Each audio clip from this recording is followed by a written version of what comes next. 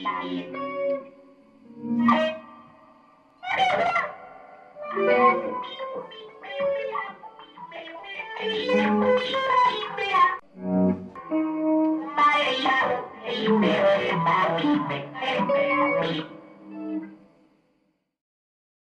kijkt naar een zomerspecial van De Muze.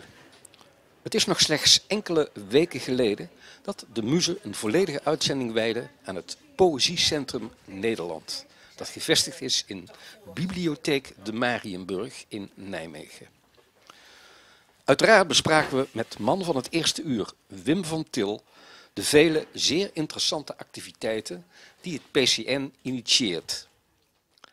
Eén daarvan is een poëziewandeling door Nijmegen.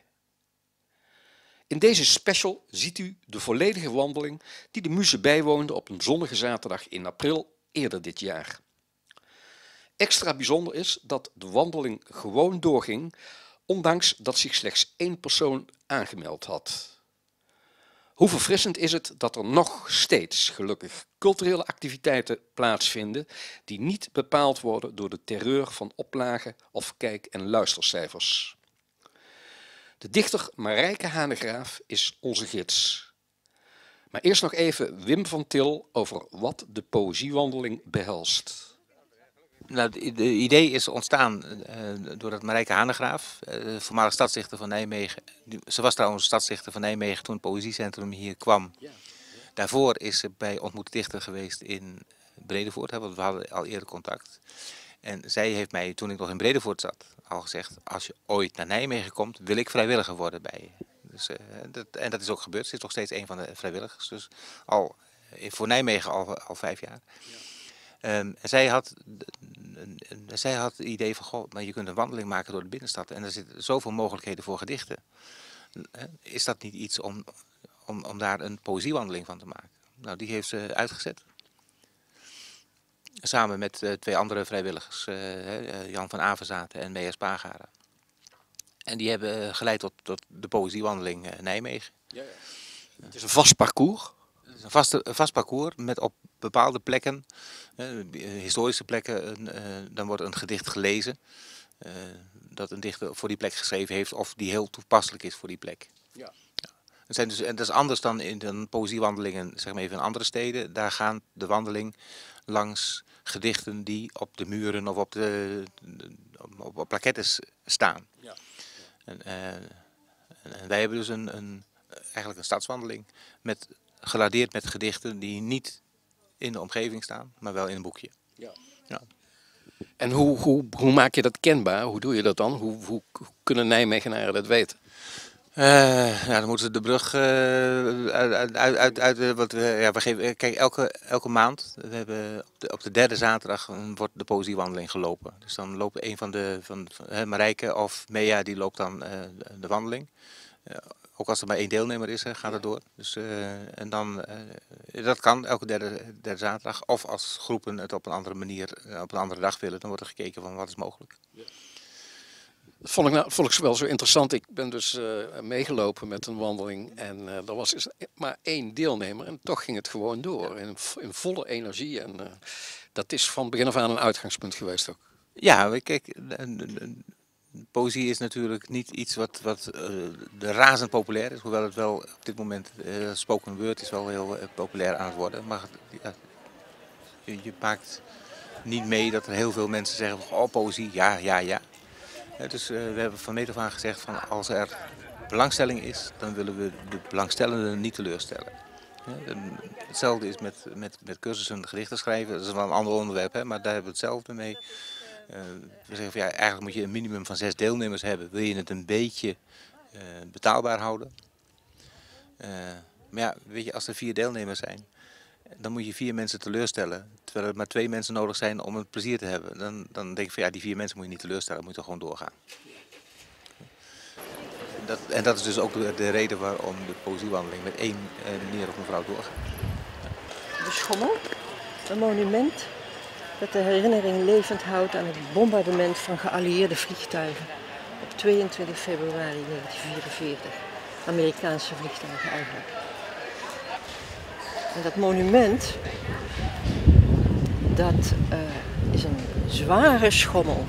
Schommel, dat, dat doet denken aan kindjes. En het zware, dat heeft te maken met de zwaarte van, het, uh, van de gebeurtenis. Ja. Nou ja, dat is dus een heel verhaal vooraf. De kunstenaar Henk Vis heeft het zo gedaan. En ja, het is best wel uh, indrukwekkend, denk ik. En er zijn nogal wat dichters die er een gedicht over hebben gemaakt. Onder andere stadsdichters. Ieder twee jaar krijgt Nijmegen nieuwe stadsdichter. Dus er zijn wel dichters die zich daarop storten. Onder andere Jaap Robbe. Jaap Robbe was uh, stadsdichter van Nijmegen in 2009 en 2010. Dat was een vrij jonge dichter toch? Is nog steeds vrij jong. Ja. Hij heeft nu ondertussen twee romans geschreven. Eén hele bekende, Birk, die gefilmd, verfilmd aan het worden is, geloof ik. En de andere, Zomervacht, uh, is vrij nieuw. Is ook uh, goed ontvangen, als ik het goed heb begrepen. Maar daarvoor schreef hij uh, voor kinderen en hij schreef ook gedichten. En misschien doet hij dat nog tussendoor, maar dat weet ik niet. Maar in ieder geval, toen heeft hij een gedicht geschreven. En dat ga ik nu lezen. Als ik niet meer thuis kom.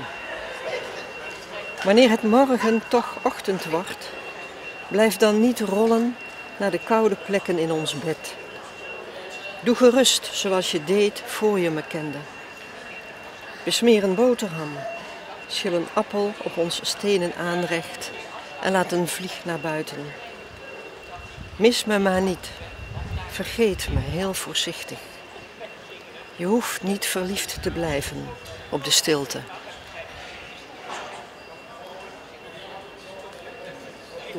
Ja.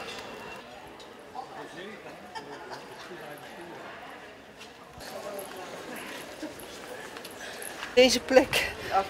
Ja, woonde de geboortes van Limburg, de Stockholmstraat. Ja. Ik sta er verder niet bij stil.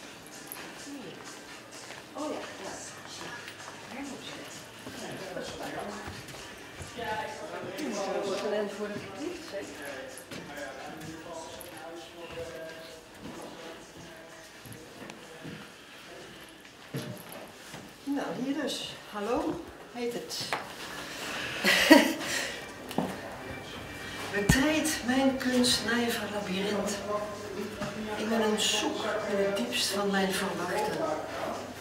Gelaagd geschapen naar de menselijke maat zal ik verdiepen boeien en verstrooien. Naar buiten introvert, maar binnenin leg ik me uit. Mijn bijenkorf zoemt. Zoek, dwaal, ontdek de vindplaats in jezelf. Verwonder en ontwikkel. Wees dilettant en kenner tegelijk. Proef op mijn werkvloer de schone, vrije kunsten. Bestijg mijn muzenberg aan de oever van de eeuwige rivier, de goden nabij. Ja, van Victor Vroomkoning, stadsdichter van Nijmegen 2006 tot 2008, september 2006 tot september 2008.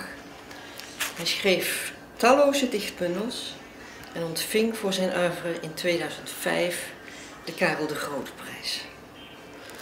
De culturele prijs van de stad Nijmegen. Het is een, ehm, samen met Harry ter Balk, die ondertussen dood is. Victor is 80. ehm, de belangrijkste dichters van. Nijmegen.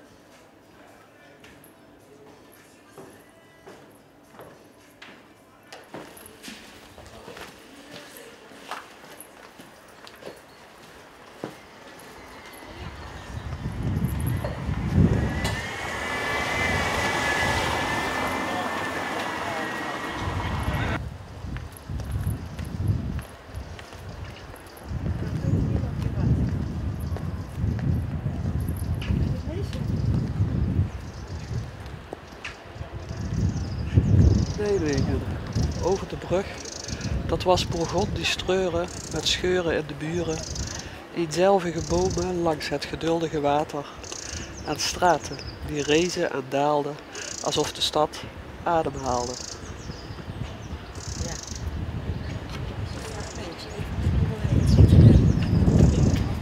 Dat zijn proza's, teksten, essaystukjes. Ook in de stad. Gedaan door eh, de Stichting Literaire Bakens. Eh, In ons boekje staan veel meer gedichten en die hangen dus niet allemaal in de stad, maar deze en die van Victor. Victor is dan toevallig weer geen literaire baken. Maar dan komen we nog een andere tegen, die hangen dan in de stad. En dat zijn de literaire bakens. Ehm Guillaume van der Graft, dit is maar een klein stukje uit een gedicht. En dat gedicht is weer een onderdeel van een cyclus over de brug. Nijmegen over de brug.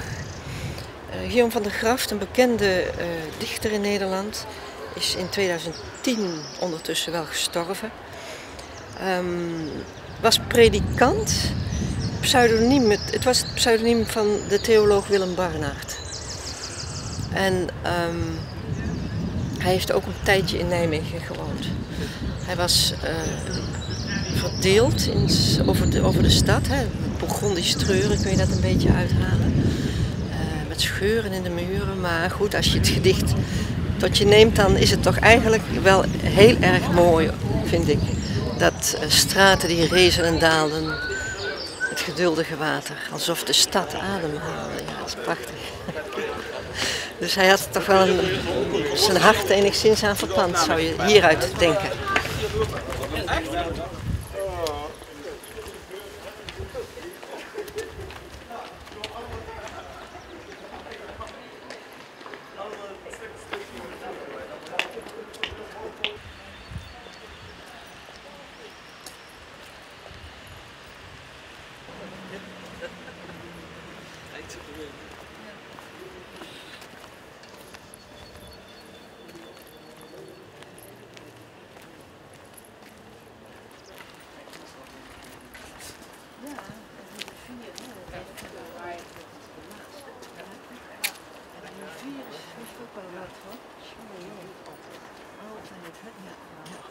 En hier hebben we dan nog ergens een oud huis staan.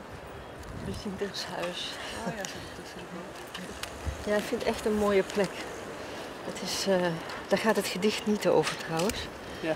We staan nu op het groene balkon, zoals dat heet. Ehm, dit is, was vroeger niet zo. Vroeger liepen de straten gewoon naar beneden toe. Ja.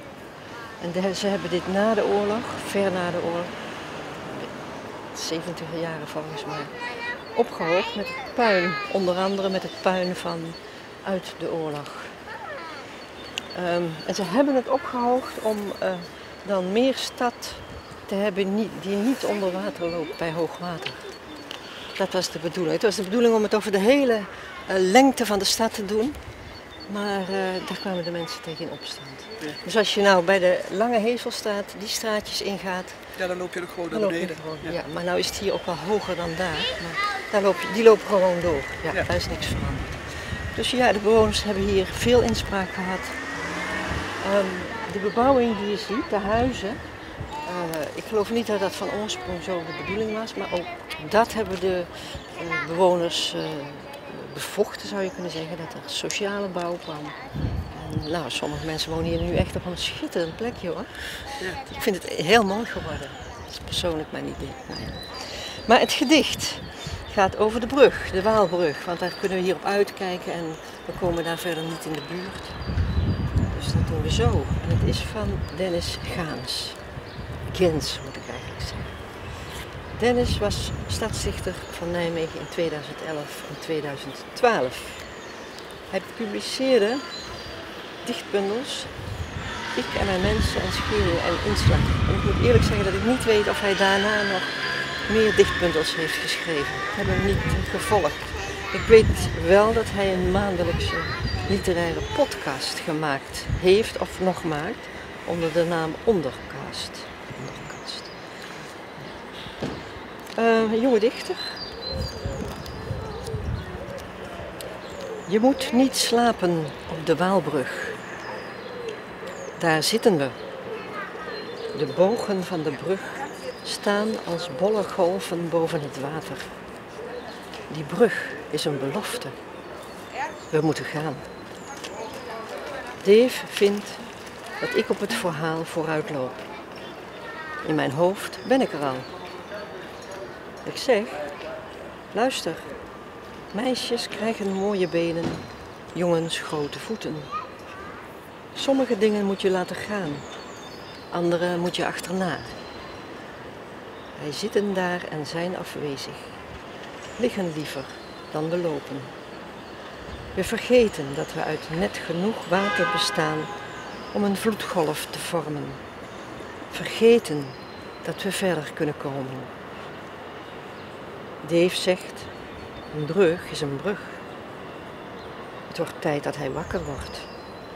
We moeten nodig dat water over. Hè? Ja.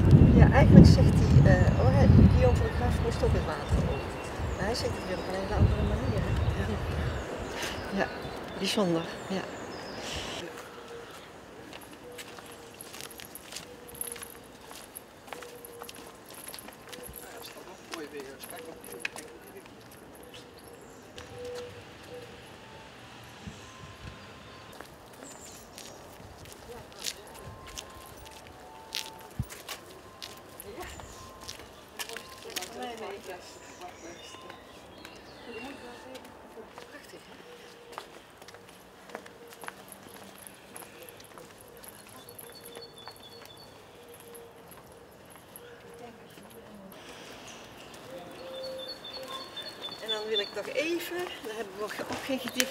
Maar ik vind het wel heel erg leuk. Ja. Apart eigenlijk. Als je hier zo kijkt, dit is een oude straat, de Ottegas. Ja. En dit is dus een nieuwe straat, dat is de Kokkenberg. Dat was vroeger een binnenplaats. Uh, stond een, een, er zat een poort in. Ik weet niet meer welke naam erop stond, maar er staat een naam op. stond een naam op. Ja. En daar hebben ze dus nu een straat van gehad, dus, gemaakt. Dus nu is, zijn er twee straten vlak na, naast elkaar, met alleen die muur ertussen. Ja. En de Klokkenberg hier uh, stond uh, de klok, ja. de uh, noodklok, klokkenstoel met een klok. Uh, noodklok was er brand was of, of, iets anders verschrikkelijks. Dan werd die geluid. We gaan nog eventjes die kant op. Heb jij nou een idee waar we zijn zo? Ja. Ja.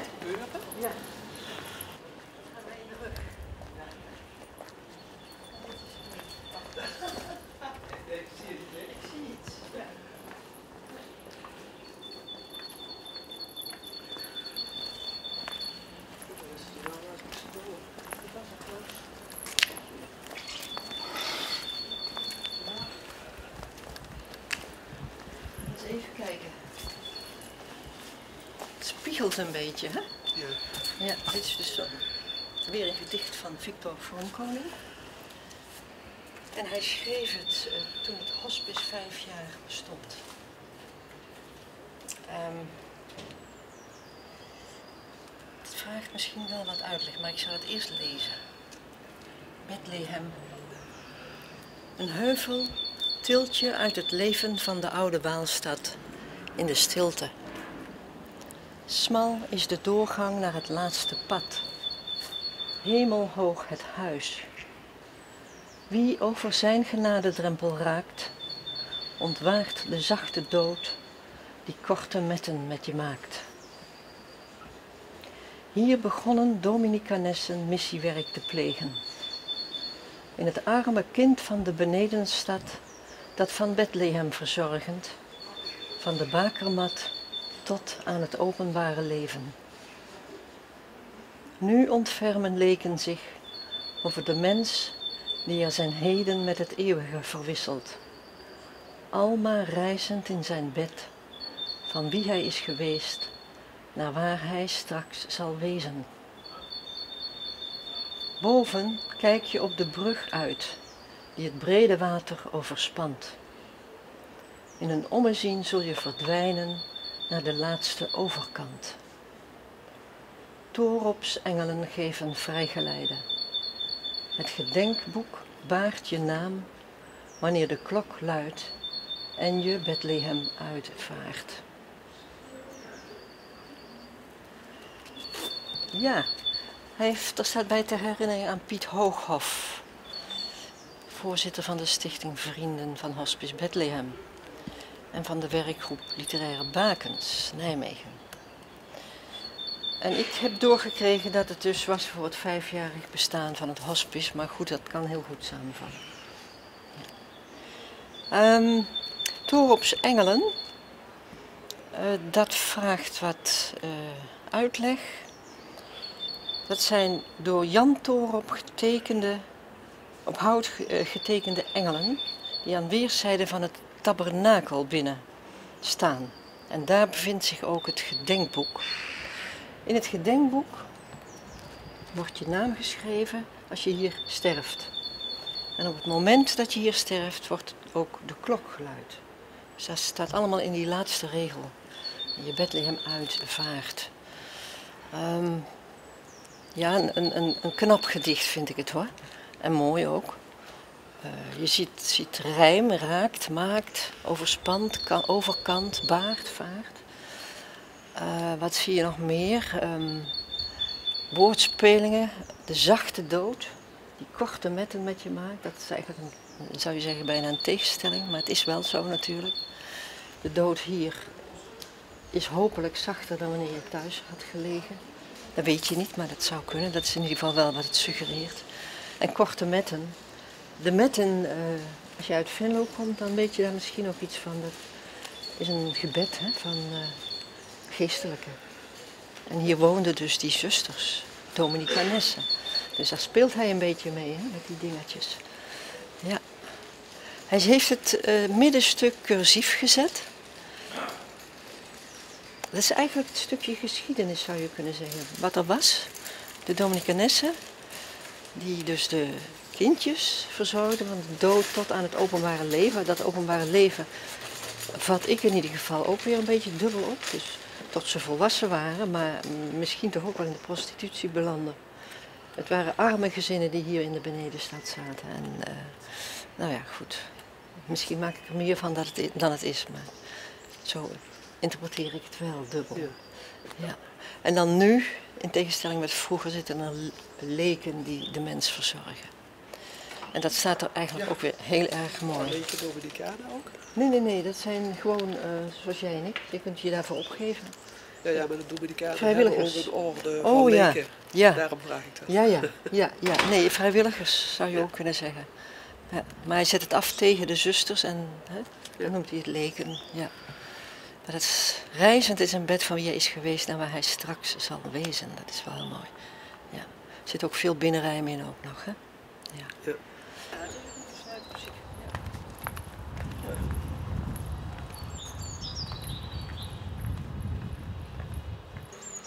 Het zit in de lucht.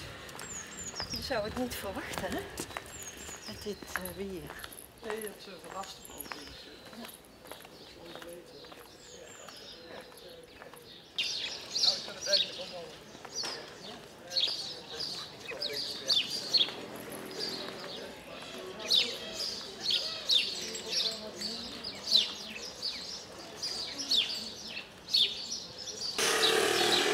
Want Augusta Poe, dat is P-E-A-U-X, heeft een gedicht geschreven waarvan wij denken dat het gaat over de huizen hier aan de Waalkade. En dat heet dus Oude Huizen aan de Kade.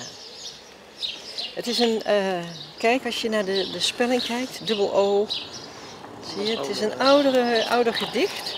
Augusta Poe eh, stierf in 1944 in Nijmegen. Zij komt van oorsprong dan niet uit Nijmegen, maar heeft hier heel, heel lang gewoond. Ze heeft twee dichtbundels geschreven met de titels Gedichten en Nieuwe Gedichten.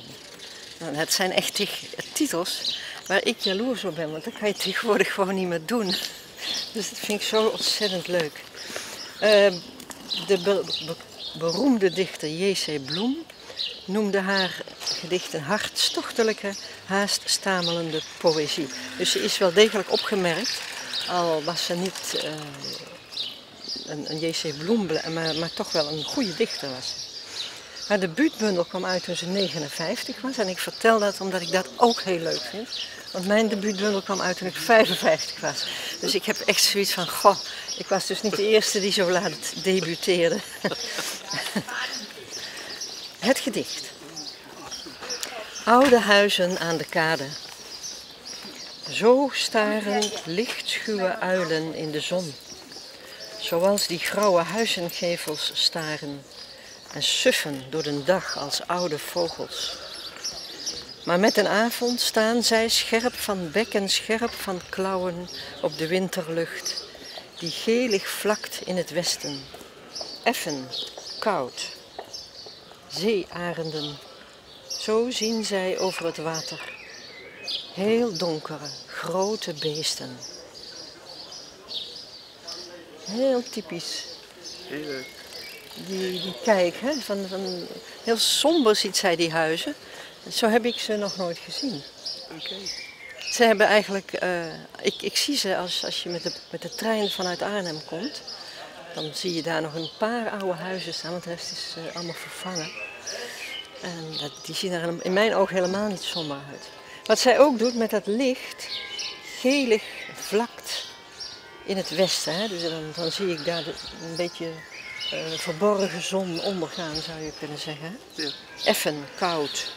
Ik stel me daar ook winter bij voor, dus dat is toch een, een, een ander beeld dan weer. We zullen straks een gedicht lezen van Wam de Moor. En die heeft het ook over die zon.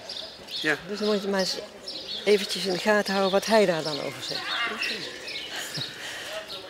Goed, gaan... Ik vond het heel mooi van dat van huizen en beesten. Ja, dat is mooi, hè?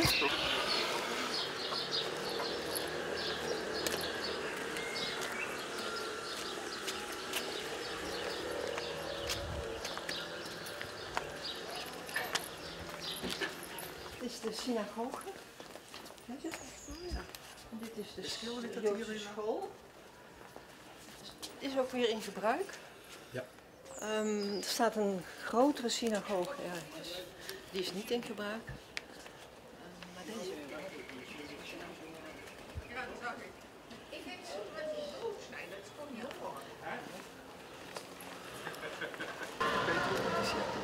We staan hier op het eh, Kitty de Wijzeplein en dat beeldje is ook eh, Kitty de Wijze voorstelling.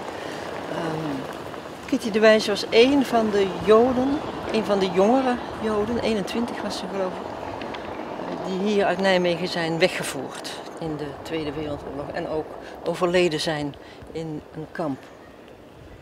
En daarom wordt hier dan ook weer ieder jaar op 4 mei een herdenking gehouden. En dit staat er al heel lang. Er staat dus een eh, tekst op en die is eigenlijk nauwelijks nog te lezen. Maar ik weet het wel. En dat is. Oh. Kom vanavond met verhalen hoe de oorlog is verdwenen. En herhaal het honderd malen. Alle malen zal ik wenen. Dat is dus van Leo Vrooman. Dus je zou kunnen zeggen dat het, het refrein is van een gedicht dat twee pagina's lang is.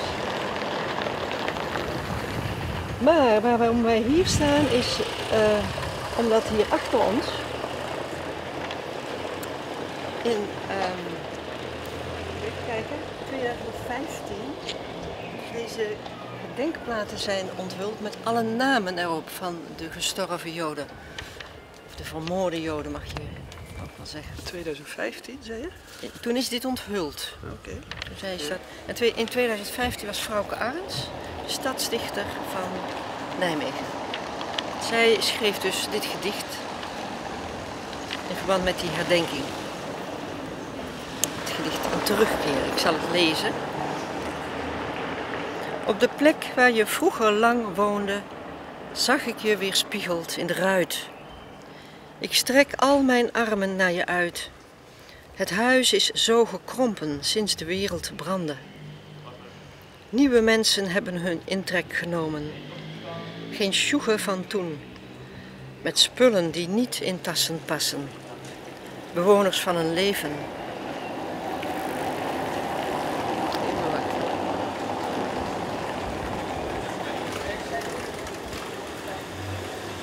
Alles begint. Oh.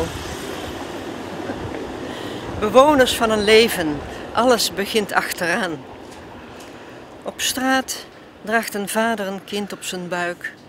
Een duif scharrelt in de perken, heeft genoeg aan zichzelf.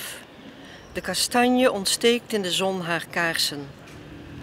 En de stad maakt zich op om je te eren. Een plek te geven om weer te keren. Nu te blijven. Noemt tegen het vergeten je naam, je klinkende naam.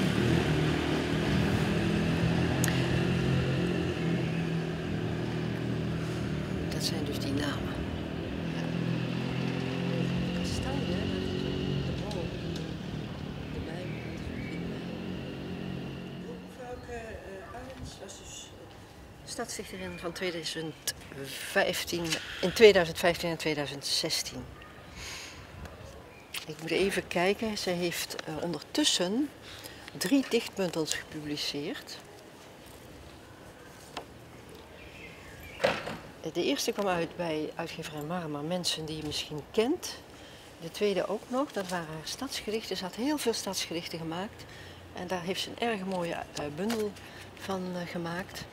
Ehm, nou ben ik die titel kwijt, want dit is dus allemaal van voor die tijd, dus dat moet ik uit mijn hoofd doen. En dan als derde heeft ze de Camembert-methode geschreven. En die is uitgekomen bij de Arbeiderspers. Hetzelfde uitgever als van Victor Vroomkoning. En van mij trouwens. Ja, Ehm, dat wel. Dat herinner ik me dat je dat straks. Ja. Ja, en eh, de Camembert-methode is genomineerd voor de Herman de Koningprijs.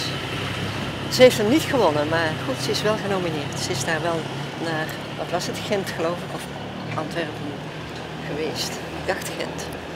Dus dat was wel eh, mooi. Fijn voor haar ook. Ja. Goed, pas op, want wij gaan die kant op. En het rijdt hier maar door. Dit is dus echt een heel druk punt en dat zou je niet verwachten. Toen wij die eh route samenstelden, hebben wij dat sowieso niet in de gaten gehad dat het hier zo druk en zo lawaaiig is. Ja. Die auto's over die, die hobbelsteentjes. Nou ja, goed, we doen het ermee.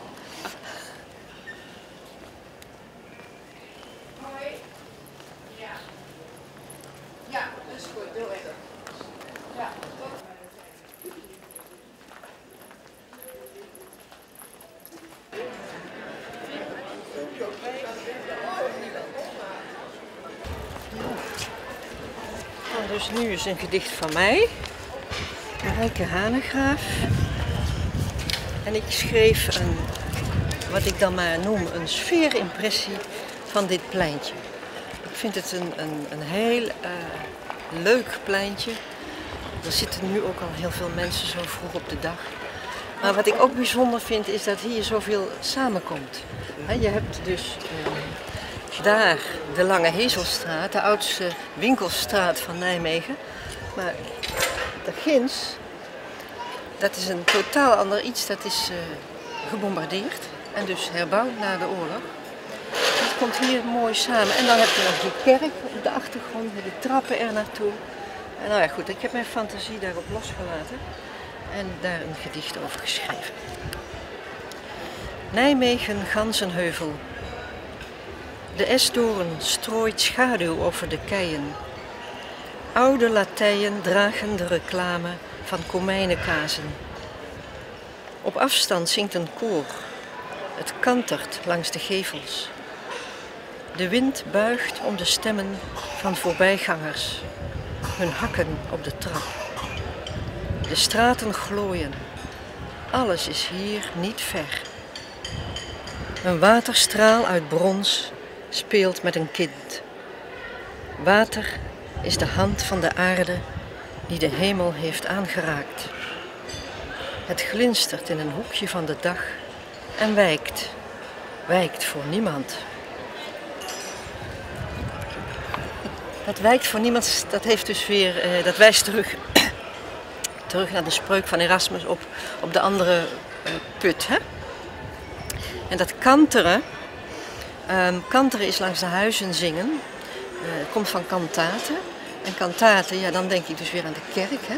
Dus die dingen zijn op die manier verbonden. En nog een aardigheidje wat, uh, wat ik dan als, eigenlijk alleen als dichter weet. Komijnenkaas, die noemde Dat ik was dus... mijn vraag. Hoe is het geschreven? Hoe bedoel je? Ja, misschien een... Komijnenkazen. Even kijken hoor. Ik heb... eh, De tweede regel. Ah, wel. Op die manier. Ja. Want? ja, ik weet niet. Het kan een associatie, maar ik kan hem niet eh, duidelijk naar voren brengen. Nee? Nee. Want mijn eh komijnenkaas wordt ook wel kanterkaas genoemd. Dus dan hebben we dat kanteren weer. Ja. Maar dat vond ik dan wel weer te veel om, om in het gedicht te zetten.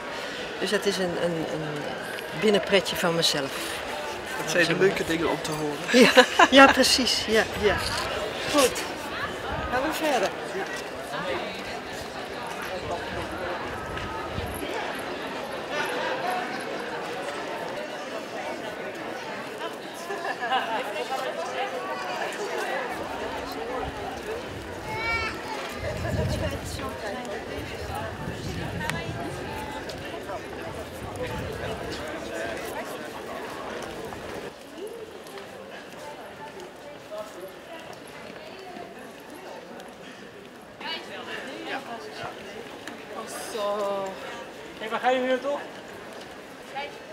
Want toen hij stadsdichter was, was er in eh, de raad een discussie of de tram weer terug moest komen in Nijmegen.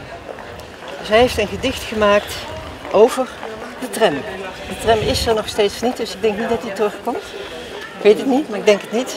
Wel Maar leuk goed. stadsbeeld. Er is wel een gedicht. En hier reed vroeger dus ook een tram. Ehm. Ondanks dat het zo steil was, ging dat goed omhoog. En eh, af en toe ging het naar beneden wat minder goed. Als er blad lag of, of eh, iets anders glads, dan blokkeerden de wielen. En dan, ja, dan kun je wel een eindje vooruit. goed, het gedicht van Dennis. I am not merely a bus, I am a tram. Het is goed om eens in de zoveel tijd een rit uit te zitten over de sporen van mensen voor ons. Over een weg die zelf weet waar naartoe.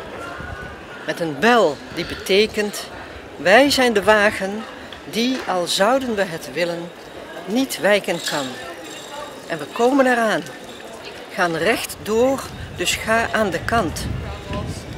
Want pas als de route zichzelf rijdt, kunnen wij echt op reis.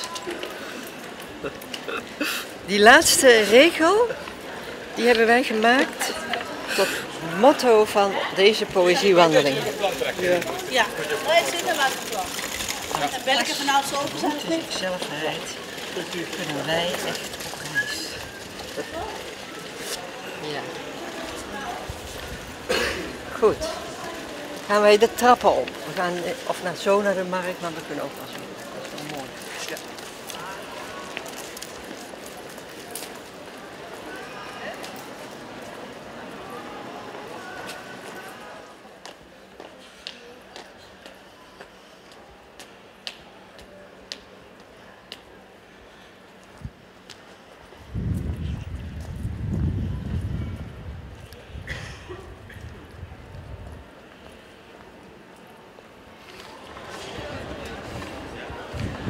Eigenlijk zouden we dus een gedicht moeten lezen boven in de HEMA, in het restaurant van de HEMA. Want daar hangt op de muur het gedicht van eh, Wam de Moor wat ik nu ga lezen. Maar het gaat wel over dit beeldje. En zoals zij hier staat eh, en uitkijkt over de markt. Dus we kunnen het hier ook lezen. Bovendien kun je hier ik, eh, goed zien, ehm, of horen eigenlijk, hoe hij schrijft over die zon in het westen. Dus daar hadden we het over. Ja. Allemans wicht. Ach jij, je rechterpink verlegen aan je mond. Je mandje aan de linkerarm. Hoe je daar stond, Mariken. Mooie, verloren meid. Hoe je daar staat en kijkt naar wat voorheen niet voor je was te zien.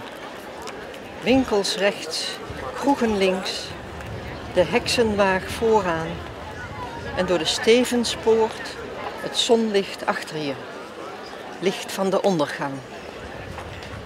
Wij hebben ons jou toegeëigend, bezit van je genomen zonder vragen. We moesten wel. Je was zo onweerstaanbaar, allemanswicht.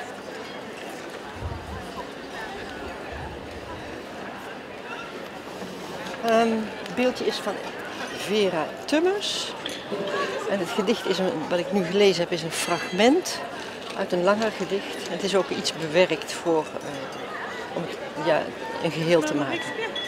Nou, Marieken, daar ga ik verder eigenlijk toch niet zoveel over vertellen. Dat moeten anderen maar doen. Maar goed, wat, wat ik als dichter eigenlijk leuk vind aan de persoon Marieke, is dat ze niet heeft bestaan. En, en heel Nijmegen gaat over Marieke. We hebben een Marieke straat en een Marieke brood en, en nou ja, Marieke gedicht dus. En, en nog, nog Marieke loop. Dus als je dat nou bij elkaar legt, dan... Ja, wat is Nijmegen eigenlijk dan, hè? Gebaseerd op iets wat niet bestaat. Marieke was een, een mirakelspel uit de middeleeuwen. We zijn, dat heb ik, ben ik vergeten te zeggen, we zijn ook langs Moenen gekomen. Het beeld van Moenen dan, bij de kerk. En dat was haar tegenspeler. Maar meer ga ik er niet over vertellen. Er zijn prachtige dingen over Marieke gemaakt. Nog niet zo heel lang geleden. Ook een, een weer een, er is een heel boekje van, kun je vinden in de Poëziecentrum. Uh, over Marieke. Ja, daar laten we het bij. En ik ga ook een keer bij de HEMA zitten. Of loop gewoon binnen. En daar hangt het gedicht dus. en wij gaan nu uh, die kant op naar, het, naar plein 44.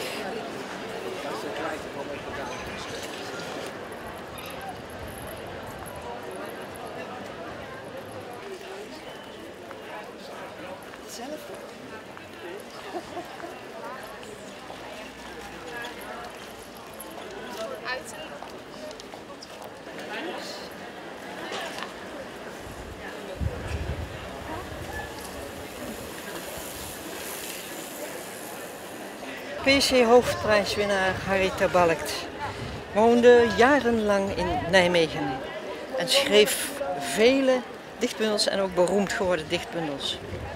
Hij stierf in 2015. Hij heeft ook over Nijmegen heel veel gedichten geschreven en die kun je ook vinden her en der in de stad. En het gedicht dat we nu gaan lezen, dat staat op de begraafplaats aan de Graafse weg. Kijk, dat, dat is dit. Zo prachtig. Echt heel erg mooi. Als je dus de gelegenheid hebt, ga er dan eens naar kijken. Nou ja, het hing hier lang. Ergens daar in een raam van eh, het meest verwaarloosde gebouw hier in de binnenstad. Uh, die die um, sportwinkel was dat. Maar daar is het nu ook weg. Dus ik lees het gewoon hier op het plein. Het gaat over de oorlog over het bombardement van 22 uh, februari 1944. Uh, we hadden daar nog tig gedichten over kunnen, la, kunnen opnemen, maar we hebben echt gezegd van nee, dat doen we niet. We maken maximaal twee gedichten over de oorlog. En dat was dus dat gedicht over de schommel van Jaap Robbe en dit gedicht van Terbalkt over het bombardement. Ik ga dat nu lezen als ik het... zo. Hier ook. Na de luchtaanval. Het verdriet stortte neer op de stad. Hard uithakkend verdriet om het hart en de ziel en de tijd van de stad. Vuur sprak in tongen over de zevenhonderden en tegen de verslagenen na de bijlslag. Nu is jullie tijd niet meer bij jullie. Leeg vlogen de drakenwagens verder van onze vrienden. Rouwend grijs en geel, na de luchtaanval, viel het licht neer. Voor goed uitgedoofd leek het. Verstomden. Ja, het, het, het, ritme hè, om het hart en de ziel en de tijd van de stad, hè, dat is zo. eh, daar, kan ik als jaloers op zijn, hè? als dichter. Vuur sprak in tongen, ja. De zevenhonderden heeft hij het over. En tegenwoordig hebben we het over bijna 800 doden. En toen hij dit schreef, was dat nog ietsje minder. Dan zegt hij, ehm, nu is jullie tijd niet meer bij jullie. En dat is voor mij in zekere zin ook een raadsel. Maar ik had ooit in, in de groep mensen uit de Achterhoek, waar hij vandaan komt. En die zei van, volgens mij zeggen wij zoiets als iemand gestorven is. Dus de tijd is niet meer bij hem of haar. Dus wie weet... is meer gebonden aan aardsbestaan. Ja, tijd is gebonden aan aardsbestaan. Dus dat, dat zit er misschien daarin. De, de drakenwagens van onze vrienden, hè, dat is eh, eh, tegengesteld zou je kunnen zeggen. Maar daarmee geeft hij toch wel aan van Ze moeten haar nog die, inschrijven. draak, die vrienden zaten in drakenwagens en dat is hier over onze stad in tongen uitgestort. Nou ja, een gedicht om nog eens meer bij stil te staan misschien, maar het is wel echt een, een prachtig gedicht vind ik. Ja. Ja, wat dat betreft is wel handig om veel symbolische kennis te hebben. Ja, Dat is vaak makkelijker. ja, ja, ja, ja, dat heb ik ook in.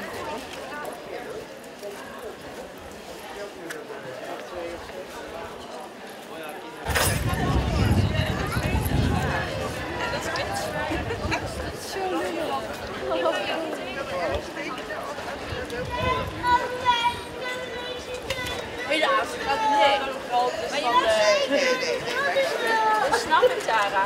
Nog steeds is het zo dat je opletten. Want mensen Oda le Noble. Daar schreef Frauke Arends als stadsdichter een gedicht over. Oda stierf in 2015. En dat was dus in haar stadsdichter, in de stadsdichtersperiode van Frauke. Ehm, zij was vooral bekend als het tamboerijnvrouwtje. En daarom sta ik hier.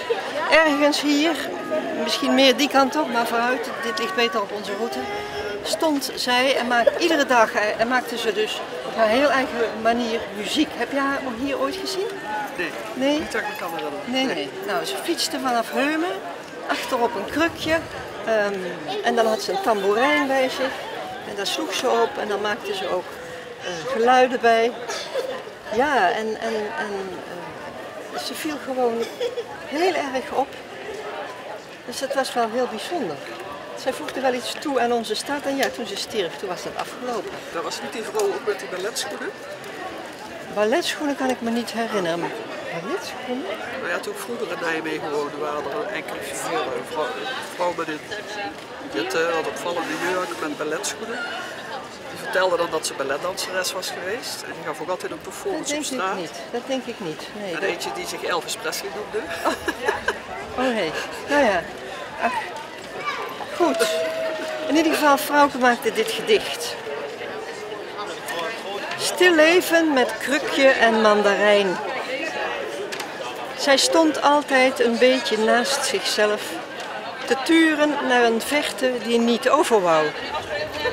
Luisterend naar de klanken die de ritselwind haar stuurde. Op haar vaste plekje in de stad verscheen ze, goed gemutst en gevlochten alle dagen, met haar tamboerijn. Gaf, klinkend antwoord op onze nooit gestelde vragen. Het beste van zichzelf. Zij was er wel, maar altijd onderweg. Ja,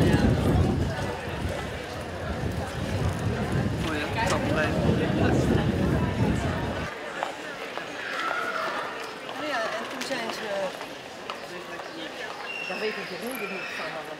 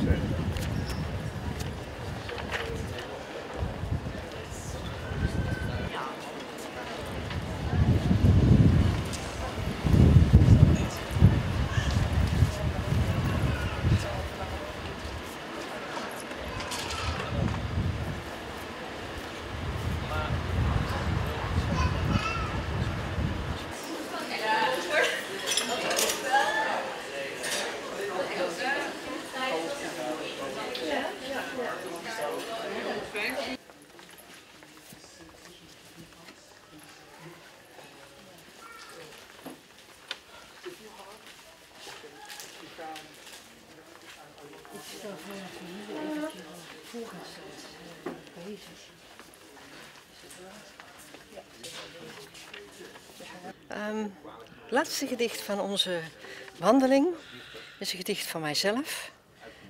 Ehm, ik schreef het vijf jaar geleden toen het Poëziecentrum Nederland hier in Nijmegen kwam zitten. En ik schreef het omdat ik toen stadsdichter was. En toch wel weer een belangrijke gebeurtenis voor de stad was. Ik schreef, ik schreef het vanuit eh, mijzelf eigenlijk, vanuit de dichters die eh, zich helemaal geven in hun gedichten. En dan hier als dun bundeltje misschien komen staan. Letterenleger. Stille vondsten, rug aan rug. Stapels ongerijmdheid de wieg ontrukt. Wanhoop, geluk, verlatenheid koloniseert de kasten. Zielsveel stok in het platte vlak gedrukt naar de mode van de typograaf. Het letterleger gloeit van schrijfvuur na. De dichters staan er tweedimensionaal. Hun namen, namen en constant schuiven in het blakkeveld van taal de nieuwe namen aan. Een dunne plaats valt hier te winnen en te verliezen. Dat was het weer voor nu. De zomerspecial van de Muze werd gemaakt door Bas Andriessen.